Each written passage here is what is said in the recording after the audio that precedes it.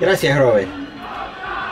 Un partido que termina con un 3 a 1 favorable al conjunto de Libertad y que creo que ha marcado, a pesar del enojo de la gente con el árbitro, la diferencia que hubo de jerarquía entre uno y otro equipo. Y que no se enojen los hinchas atigrados cuando hablamos de jerarquía. Sé que es un término complicado, pero les vamos a explicar. Libertad es un equipo que tiene jugadores con mucha edad, con mucha experiencia y que las han sabido aprovechar en esta edición de Copa Libertadores y en este partido. Le faltó Santiago Salcedo, pero estuvo Tacuara Cardoso de delantero. Estuvo Muñoz en el arco, estuvo Pablo da Silva en la defensa. Estuvo el jugador Vareiro, que terminó siendo determinante, para mí la gran figura del partido. Y le terminaron marcando la diferencia al Tigre, que había empezado, insistimos, en el primer tiempo con 20 minutos de lujo, espectaculares, en los que tuvo muchas chances y salía a comerse al mundo. Jugado los mejores 20 minutos del año. Pero de pronto en el primer ataque, un ataque de Vareiro, insisto, la posición adelantada de Vareiro hay que analizarla, es dudosa, pero sale y en velocidad termina metiendo un centro para que aparezca Oscar Tacuaro Cardoso, que le empuje en la primera que tuvo Libertad. Mientras el Tigre había desperdiciado 7 ocasiones de gol, Libertad en la primera se había puesto en ventaja. Ahí cambió completamente el partido. Luego nos fuimos al complemento, volvieron los mismos 22.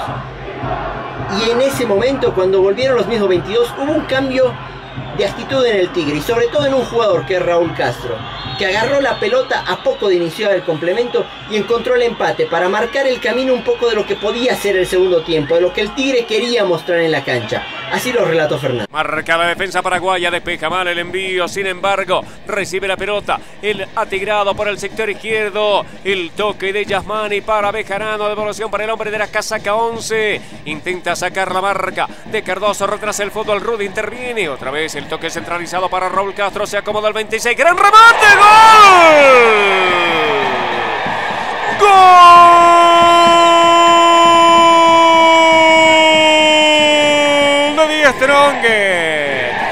Un golazo del mejor hombre atigrado. Raúl Castro ve espacio, acomoda la pelota. Saca un latigazo con pierna derecha. Se estira el guardameta Muñoz, pero no llega.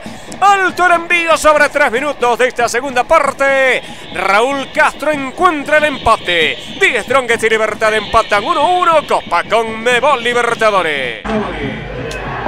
Mientras iba el árbitro del partido y no lo vamos a dejar pasar porque lo estábamos viendo a través de la cuenta de Radio Deporte Bol en Twitter, la gente preferencia se quedó, fue una salida con muchos proyectiles, con muchos problemas. Esto al Tigre, esto le va a costar otra multa más, va a ser la tercera en esta Copa Libertadores. A los problemas administrativos se le va a sumar este. La gente tiene que entender que estas cosas no aportan, no ayudan a su club. Uno entiende el enojo. Pero insistimos y desde Radio Deporte creemos que el arbitraje no fue determinante. Creemos que al Tigre se le va el partido en errores propios.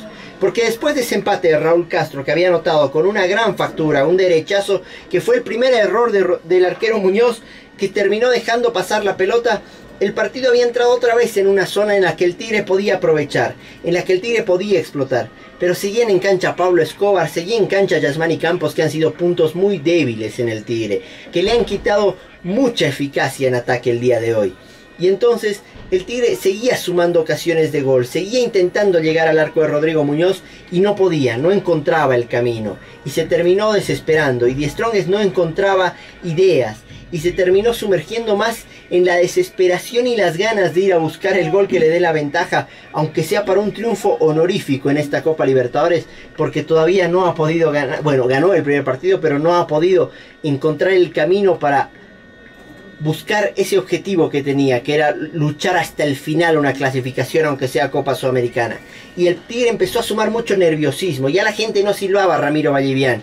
Ya la gente también se sumaba a ese nerviosismo que significaba tener la pelota y pedirle ir al frente desesperadamente al como sea. Y el partido entró en esa zona del como sea. Y Libertad se empezó a sentir más cómodo porque con el punto y con el empate terminaba siendo también beneficiado. Porque con ese punto ya se metía en la siguiente fase. Faltaba ver si era primero o era segundo y como todavía tendrá que esperar la última fecha para definir eso, pero con el punto ya se aseguraba la clasificación.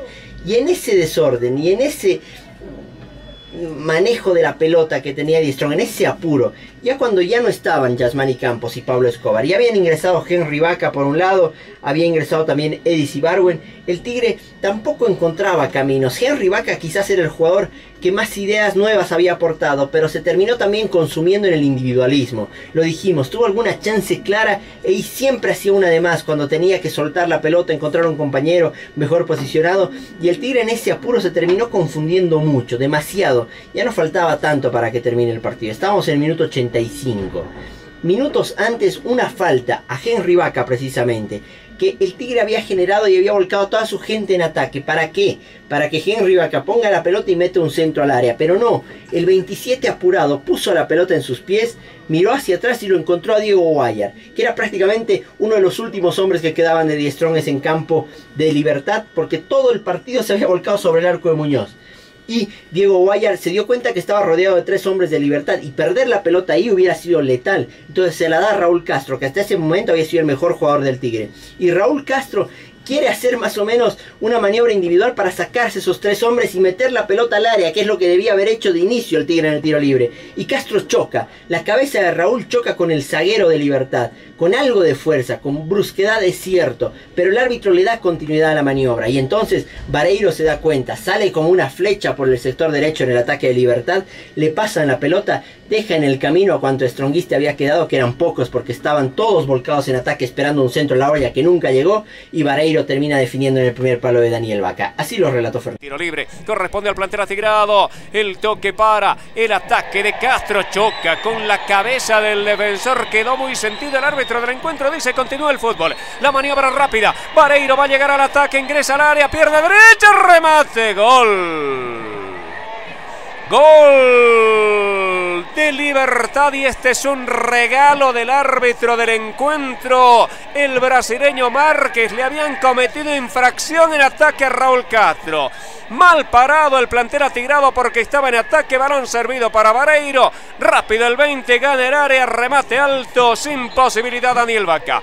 40 del complemento. 85 del partido. La victoria es de la visita. Y Die Strong se despide de la Copa Conmebol Libertadores. Libertad 2. Die Strong es 1.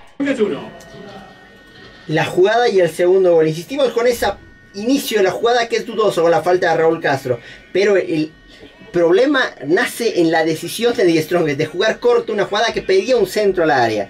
En ese momento el Tigre ya perdió totalmente el control del partido. Libertad se sabía ganador, se sabía clasificado y además casi asegurando el primer lugar de, del grupo C.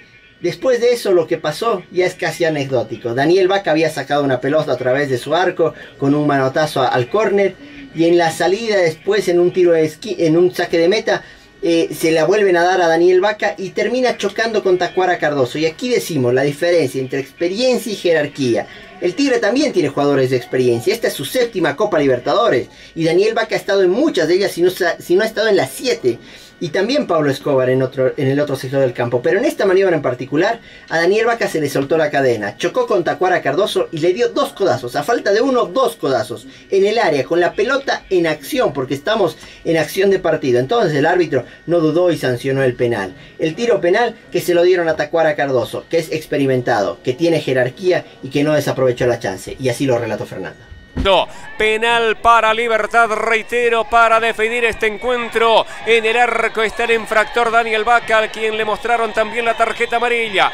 Cardoso con pierna izquierda. El 9 va a sacar el remate fuerte. Gol. Gol de libertad de penal Oscar Tacuara Cardoso, 48 minutos del complemento 93 del partido. Libertad 3, Strongest 1, Copa Conmebol Libertadores. Y así se terminaba el partido. Estábamos en el minuto 93 del encuentro y Libertad sentenciaba. Con ese 3 a 1 ya no había tiempo para nada más. Bueno, sí hubo tiempo para algo de desorden, para el enojo del público con el árbitro que creo, insisto, termina apuntando en el juez la frustración y la bronca de haber visto cómo se le va la Copa Libertadores, de haber visto cómo se le va también la Copa Sudamericana. Hoy el Tigre estaba obligado a ganar por 6 goles si quería seguir en competencia. Lamentablemente no se pudo llevar los puntos. Fue un triste final para una triste Copa Libertadores de Strongest. Le quedará un partido, pero ya simplemente por cumplir. Hoy al Tigre se le fue la copa de las manos. Cerramos el comentario. Gracias Beto, fue el comentario en Radio Deportes. Roberto Acosta analizando este 3 a 1 de Libertad frente a 10 Tronques. 3 a 0 había ganado allá, un global de 6 a 1. Es como para molestar realmente a la hinchada. Que así